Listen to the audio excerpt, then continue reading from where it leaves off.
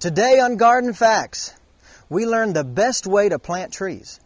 There's no need to bark about it, it's easy.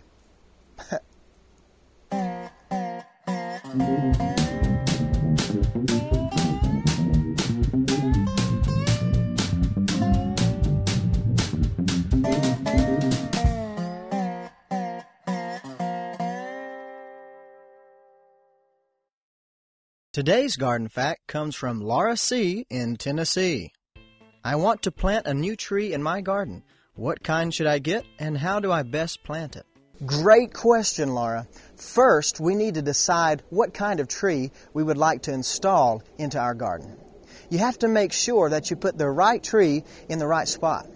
So ask yourself what you would like to get out of this new tree. Would you like shade? Would you like flowers? Would you like evergreen leaves, fall color? Also think about the space you have to work with. Do you need a tall tree or a short tree? Consider the appropriateness in your garden design. Do you need a tree that stands columnar or one that arches horizontally? If you have chosen a tree, research it.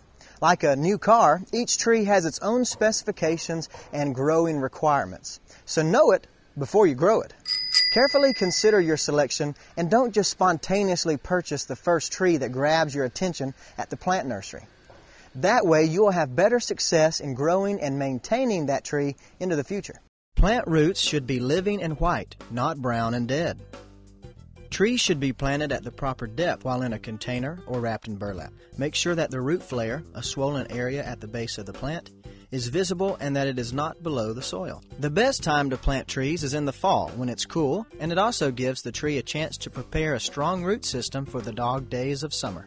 After planting the tree, make sure to take off any stakes or supports. If the tree absolutely needs the support, keep it attached to the tree for 6 to 12 months only. Be certain that your plant choice does not have any damage along its trunk. Also, don't get quick canned. A quick canned plant is a small plant which has been bumped up into a larger pot size too close to the day of sale. In other words, you're buying a small plant with a small root system for a much larger price. Make sure this is not the case by tugging on the trunk of the plant. If the plant's root ball pulls out of the pot too easily, walk away. Don't buy that one. It's been quick canned. All right. Now that we have decided on what kind of tree we want to plant, and now that we've purchased that plant, it's time to get dirty. Here's what we need to do. Kill the weeds in the area in which you are going to plant your tree. Using herbicide prior to planting or simply digging the weeds' roots out work well. Use sand or spray paint to form and define your planting borders. Make your tree bed large enough to keep lawnmowers and other equipment from damaging the tree trunk. Also, consider the size of the tree when mature. For a tree potted in a container, dig the width of the hole two to three times the diameter of the root ball. Make sure that the depth of the hole is only as deep as the root ball itself, so that the top of the root ball is level with the soil line. If you are planting a tree with a root ball wider than two feet, such as a tree that has been balled and burlapped, dig a hole which is one foot wider than the root ball itself and dig it so that it allows the root ball to sit two inches higher above the surrounding soil level. If you find that your tree's root ball is encircled with roots, be sure to score it so to prevent girdling and to encourage proper root growth.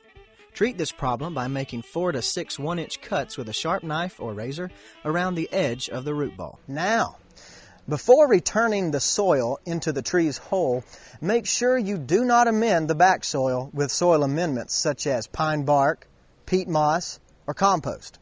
Doing so can cause the hole to fill in with water when wet creating a bathtub effect which drowns the roots.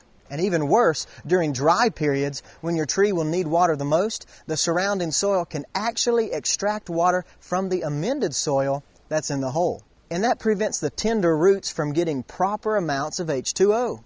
All you really need to do to prepare back soil is make sure that your hole is large enough and that large clods of soil are broken into half inch or less sized chunks.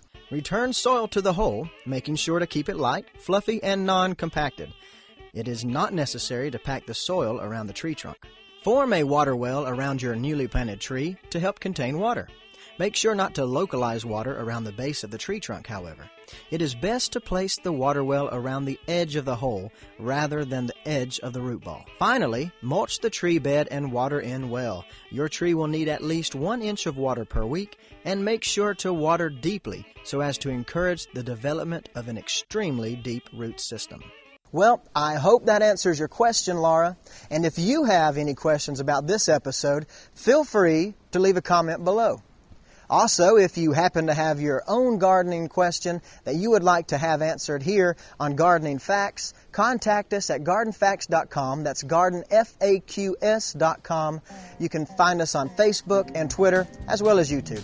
Now, it's hard planting a tree, can be hard work, but it can be educational and enjoyable. So go grab a root ball and get started. We'll see y'all later.